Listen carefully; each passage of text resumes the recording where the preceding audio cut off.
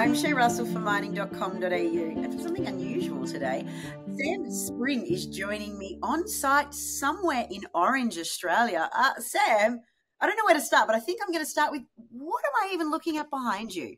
G'day, Shay. Um, no, Fleet Space, who we've just had a news event out this week, are hosting an investor and educational event out um, at the Wentworth Gold Mine out on the outskirts of Orange. Um, so that's where you find us today. There's a pretty good attendance you might be able to see in the background.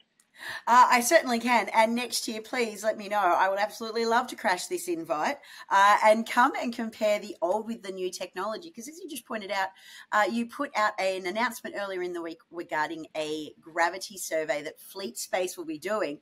My guess is they've got a bit more high tech equipment than what's behind you. No, absolutely. So Fleet Space, as the name suggests, a, a, a technology company specialising in um, space and also mineral exploration. Um, they're rapidly deploying this ANT, which is a passive seismic survey, through a number of projects through the Macquarie Arc, um, including the world's largest ever ANT survey. But they're also looking to um, to do a gravity survey for the first time at our Nyngan project. So a regional and infill ANT survey with a ground gravity survey that'll help refine targets um, within the district looking at large scale porphyry systems. Uh, just to refresh everybody's memory, the Nyngan project actually is a joint venture with Anglo Gold Ashanti, isn't it? It is. So in May, we announced Anglo Gold Ashanti would come in as a partner for our Nyngan and Nevertire projects, earning up to 80% for $50 million of expenditure. Um, this ANT survey and gravity survey with Fleet is separate to that, but it's on a high priority target area that really stands out on a district scale perspective.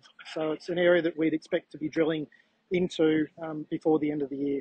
Okay, well, that takes me to my next question, and that is when can we expect some sort of uh, outcome or results from this fleet space gravity survey that they're undertaking? Well, the, the great thing about the fleet surveys is they're very quick. Um, they're kicking off the first week in August. Um, as you've seen with Waratah, Inflection Resources, which are a couple of other juniors they've done that work for in the belt, it's really rapid time turnaround. The, the, it's daily um, feed from the sensors to the satellite technology and then into the cloud and AI processing. So it's very quick. Um, and I guess separate to that, we're looking at commencing drilling, um, and we should have news on that pretty shortly with Anglo Gold Ashanti um, with our Nyngan project. So we're expecting to be out in the field, and the ANT gravity survey is the first part of that. Uh, listen, Sam, there's clearly no rest for the wicked. Uh, it sounds like I've got a busy few months ahead for Kincora Copper. Uh, I want to just say thank you so much for being here. I'm very jealous that you get to be on site having this old world tour completed. Uh, I should let you get back to it because it looks pretty busy in the background. No, thank you, Shay. It's a great opportunity to provide an update.